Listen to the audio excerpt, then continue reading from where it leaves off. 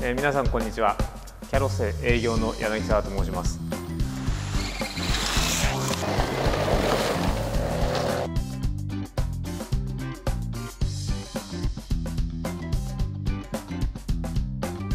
えー、今日はですね皆さんの興味がある、えー、LSD について、えー、紹介、えー、説明したいと思います。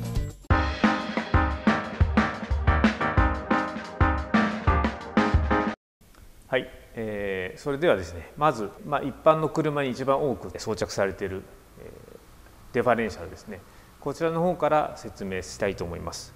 まあ、車っていうのはですね、えーまあ、内輪外輪それぞれ、えー、タイヤがついてると思うんですけどもコーナーを曲がる、えーまあ、交差点を曲がったりする時は必ず、え、イン側とタイヤイン側のタイヤとアウト側のタイヤの、え、回転差が生じます、え、そのですね回転差を吸収するのが、えー、このデファレンシャル、えー、オープンデフと言われる、えー、デフになります。要は、えー、差動を発生させる、えー、装置になります、えー、そのですね、えー、オープンデフ、えー、でもですねモータースポーツ要は走る速く走るために、えー、ですとか、えー、スポーツ走行タイムを出す、えー、という意味ではそのデファレンシャルの、えー、オープンデフの機構が邪魔になることが、えー、と多いです、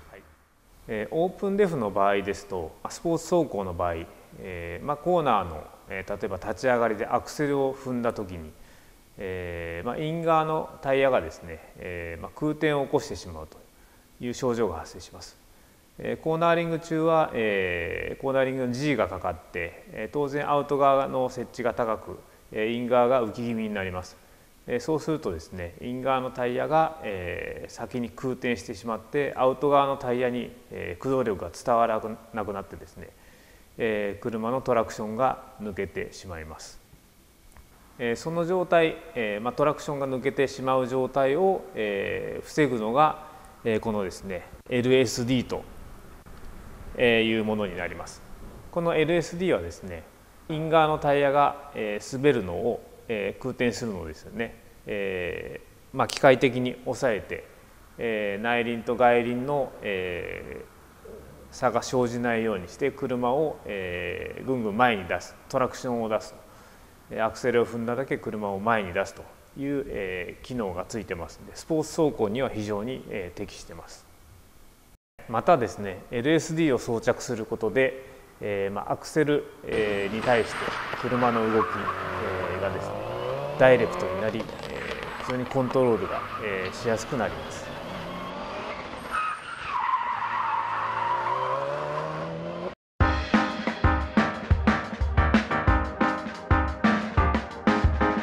えー、LSD、えー、といってもですね、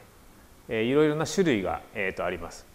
最近ではですね純正の車でもスポーツ車にはですねヘリカル LSD だとかトルセンだとかビスカスだとかそういった LSD がついてるんですけどもこういったものはですね機構自体は LSD 効果はあるんですけどもえ全般的にやっぱ効きが弱いですえ。スポーツ走行をする上ではですねやはりえ機械式、まあ、多板式と呼ばれるえ LSD がえ最適です。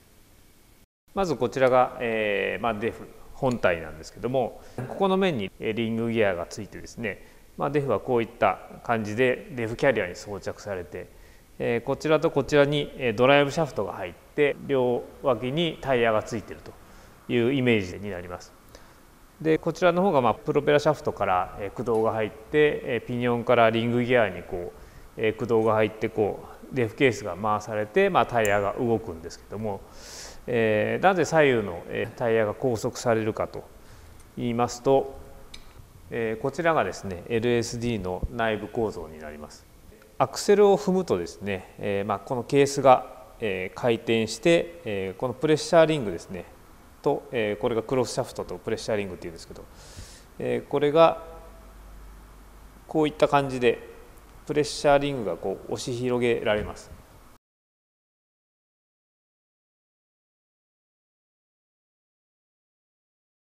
そうすると、えこのクラッチ板ですね、え外詰めと内詰めってあるんですけどもこれをギュッと押しつぶす、え圧縮して、え摩擦が発生して、えそしてまあこの外側の、まケースですね。そこに圧縮されて、え左右のえ拘束力えというものが発生します。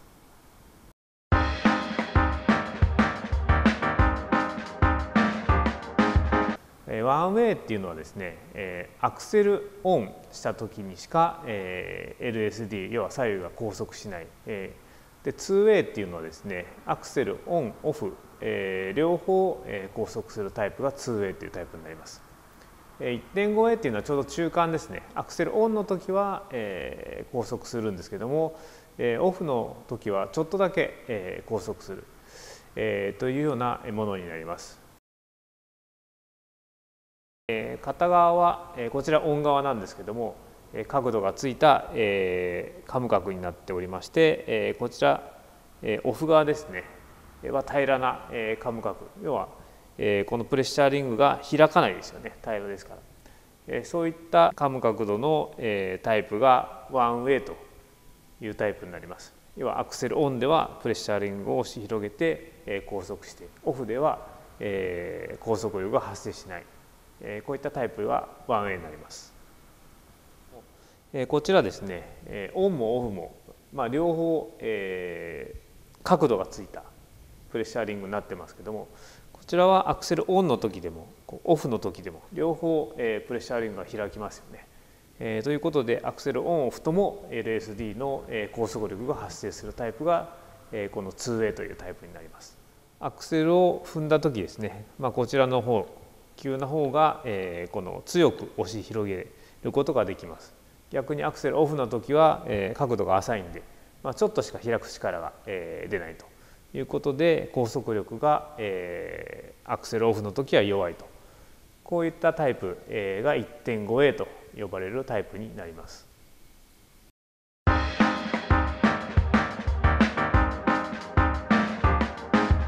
えー、続いてセッティング、えー、なんですけどもカム角度を変えることによって効く、えー、速さと、えー、効きの強さを変えることが、えー、できます。こちが浅い角度35度っていうカム角度になりますこちらの、えー、きついカム角度こちらが45度っていう角度になります角度がきついほど、まあ、うちで言うと、えー、強い角度だと55度っていう角度があるんですけども、えー、55度が強い、えー、しかもレスポンス、えー、機器のタイミングが速い、えー、逆に35度だとかはタイミングが遅くて緩やかで効きも弱いというような特性になります。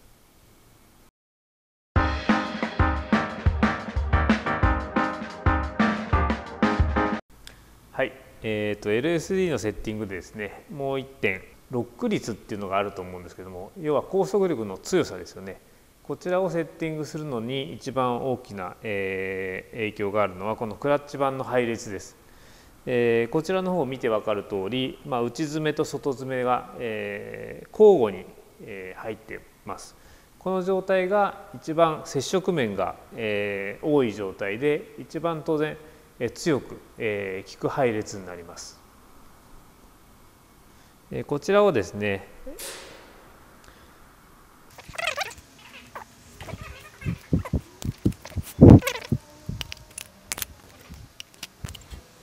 はい、こちらがですね、えロック率を変えた、え仕様になります。え先ほどと違ってですね、えまあ、この下の方は、え内外内外と来てるんですけどもここから、え内詰めのクラッチ板が2枚内内そして外外というような組み方で、え同じ詰めの方向のクラッチ板を、えまあ、2枚重ねてます。こうすることによって接触面が、え当たり面ですねがえ減りますそうすると、えー、拘束力が、えー、減ります、まあ、さらにこれを内内内内外外外外みたいな組み方をすれば、えー、さらにどんどん弱まって、えー、機器の、弱いセッティングが可能です。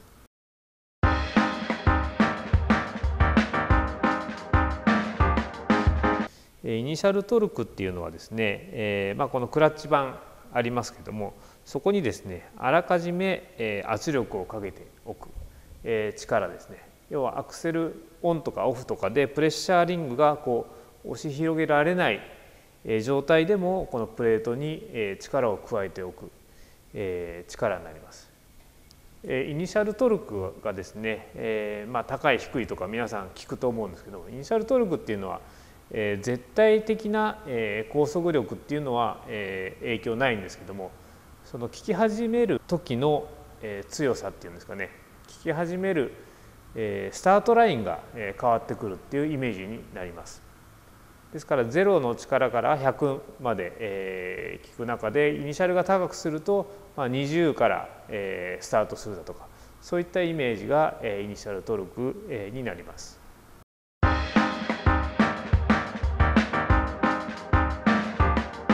クスコ LSD には、えー、タイプ RS、えー、MZ という2種類の設定があります。こちらが、えー、タイプ RS というタイプです。こちらが MZ えー、というタイプなんですけどもその差をちょっと説明したいと思います。はじめにですね、えー、と MZ というタイプこちらは、えー、非常にオーソドックスな、えー、タイプで一般の、えー、他社さんの LSD なんかもこのタイプが多いです。えー、このタイプはですね先ほど説明した、えー、イニシャルトルクっていうのを、まあ、外側の方から、えー、このコーンプレートですね、えー、こちらの方で、えー、要は皿バネですねこちらの方で外側からイニシャルを、えかけてるタイプになります。えこの RS はですね、えこの内側に入ってるコイルスプリング、えがイニシャルを発生します。ですからまあ内側から外側にですね、えプレッシャーリングを押し,、え押し広げる方向に、えイニシャルがかかってる、えタイプになります。通常ですね LSD というのはレスポンスを上げようとするとイニシャルトルクを高く設定する、え、しなくちゃいけないんですけどもこの RS はですねこの拘束させるプレッシャーリングが内側から外側に広がるんですけどもその方向と同じ方向にイニシャルをかけてるのでですね非常にレスポンスが低イニシャルでも高レス高レスポンスですねが可能です。イニシャルが低いということはこのクラッチ板ですね押し付ける力が少なくて済んでるということになりますので要はオーバーホールサイクルが非常に長く保ってます。なおかつイニシャルが低いとですね、まあ、普段の街中の走行だとか、え、車庫入れだとかそういうところでも非常にスムーズに入れることができますし、まあ、低排気量でローパワーの車えそういった車にも非常に、え低イニシャルでパワーロスが少ないと、いうタイプの、えデフになります。続いてですねイニシャルの調整方法ですね、えこちら、えタイプ RS なんですけどもここに RS スプリングっていう、まあ、コイルスプリングが入ってるんですけどもこちらの本数で、え調整が可能です。こちらをですね、えー、まあバネの本数まあ、マックスで12本入るんですけども、えーまあ、イニシャルを下げたければこのスプリングを、えー、と抜いていく。本数を減らしていけばイニシャルが下がります、えー、増やしたければ、えー、このスプリングを入れるスペースがまだ余ってますんで、えー、こういった感じでプラスしていけば今本数が12本入りました。え本数を入れるとイニシャルが、え上げることができます。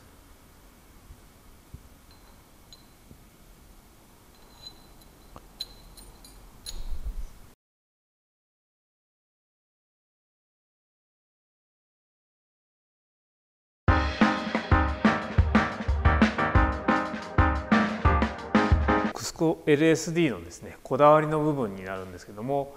例えばこの、えー、LSD ケースですね。黒森の鍛造の、えー、ケースを使ってます。非常に高強度になります。でまたですねこの内部のギアですね、えー、ギアを一つ取ってもこちらも、えーと、霊感鍛造のギアになります。で特にですねギアは、えー、この背面つながりといってですねギアとギアのこの間を、えー、つながここつながってると思うんですけどもこういった成形は、え単造じゃなきゃできない成形になります。まあ、ギアとギアをつなぐことによってさらに強度を、えアップすることができます。その他ですね内部のクロスシャフトだとかこのクラッチだとかこちらも単造の素材を使用してまして全て非常に高強度なものになります。えその他ですねオイルスルーといいまして、えこの例えばケース、まあ、かなり大きな穴が、え開いておりますこれはですね LSD オイルをですね LSD の中にこう循環させて温度上昇を抑えてやろうとそういった仕組みになりますこの内部もですねオイルが回りやすいようにオイルの通路ですねこういったオイルの通路を確保してます。まあ、こういった部分でも、まあ、穴を開けると当然強度が落ちてしまいますのでこれを可能にするのにもやっぱし素材の高強度という部分が非常に重要になってきます。それからまあクラッチ板 MZ プレートというんですけどもこちらもこだわってましてこの放射線状のですねこの溝。こちらの溝でオイルをまあ循環させてやる。クラッチ板隅々まで行き渡させる。それからこの表面もですねマイクロディンプルトリートメント加工ということで小さいディンプルがですねこの表面にくぼみができてます。それによってこちらもオイルはですねこの表面にまんべんなく循環して耐久性を上げたりだとか効きをマイルドにしたりだとか温度上昇を抑えたりだとかそういった部分に効果を発揮しております。続いて LSD オイルなんですけども、まあ、クスコではですね、えーまあ、用途だとか使い勝手だとかに合わせてこの3種類の LSD オイルを用意してます、まあ、一番人気があるのはこの8090と呼ばれるタイプこちらが、えー、チャタリングですね。要はバキバキ音と呼ばれる音を低減させるような添加剤が非常に含まれているので静かにしかもマイルドな、えー、効きが味わえます、まあ、非常におすすめなオイルです。その他ですね、えー、ミッションオイル。こちらが7585の粘土の、えー、タイプ。それからこちらリアデフ専用ですね。80140番というハードな使い勝手をする方にはこちらの LSD オイルがおすすめです。